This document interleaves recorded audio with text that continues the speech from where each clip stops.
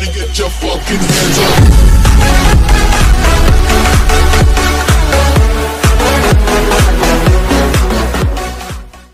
What is going on YouTube? This is Gavin21202, aka Gavin Orlandi, here bringing you all of the latest WWE news, rumors, headlines, and updates. Ladies and gentlemen, breaking news has just come to my eyes, ladies and gentlemen. Now, ladies and gentlemen, like I just said, breaking news has just come in in regards to Paul Heyman possibly double crossing Brock Lesnar at SummerSlam and joining Roman Reigns and helping Roman Reigns to win the Universal Championship. So, ladies and gentlemen, as we know, Lesnar, Reigns will square off once again. But, ladies and gentlemen, Paul's Heyman, Paul Heyman's role throughout this feud has been booked magnificently, as Bleacher Report is saying.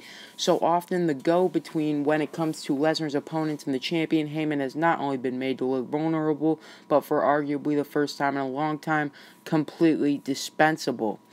Heyman and Lesnar work together like a marriage made in heaven coming from Bleacher Report. That is a quote from Bleacher Report.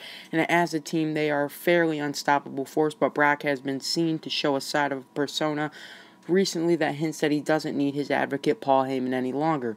When he pleaded with Lesnar to head to the ring recently on Raw to save his own job, Lesnar showed such contempt that it was like the two had never met. And while there was apparent reunion on the go home taping of Raw with Heyman spraying Roman in the eyes before Lesnar took the big dog out, that could simply have been the trick the audience into believing the two are a stronger force than ever. Now, ladies and gentlemen, a tweet was brought to Bleacher Report's attention that they posted, and it says, and I quote, it says, My gut says that Heyman is double crossing Lesnar. I was against it, but I'd love to love for Monday to have been a ruse between Heyman and Roman. Reigns never tore up the offer, and we don't know what was said in Samoan. Now, ladies and gentlemen, one of the great mysteries about Monday's segment is that the note Heyman handed Reigns, what was it written on?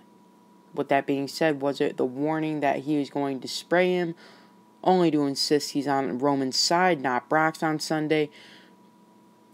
That being said, WWE fans have seen a brand new side to Paul Heyman as of late. As mentioned, not only has they been extremely vulnerable in terms of his booking, but he has been emotionally charged too, as seen in his recent interviews with Renee Young.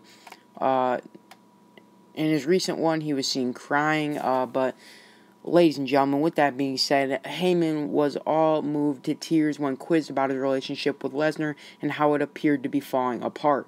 With Lesnar's future still unclear, it's evident that the time is right for Heyman to appreciate the fact he needs to switch uh, allegiances and back to the right house. With that being said, ladies and gentlemen,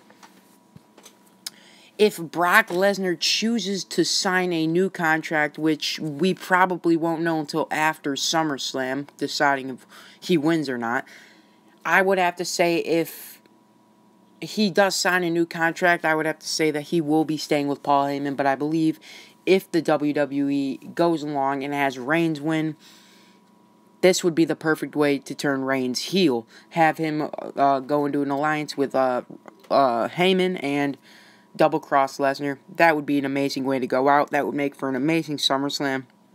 And it would make for the final match between these two the greatest that it should have been and will always be. So, ladies and gentlemen, what do you guys think? Do you think Paul Heyman is going to double cross Lesnar? Do you think that uh, Brock is Brock and Paul are going to stay with each other? Put it down in the comment section, ladies and gentlemen. I always like to hear what you guys have to say.